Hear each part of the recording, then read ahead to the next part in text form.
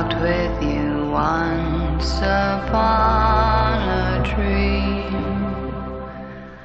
I know you, that gleam in your eyes is so familiar a gleam, and I know it's true that visions are. Self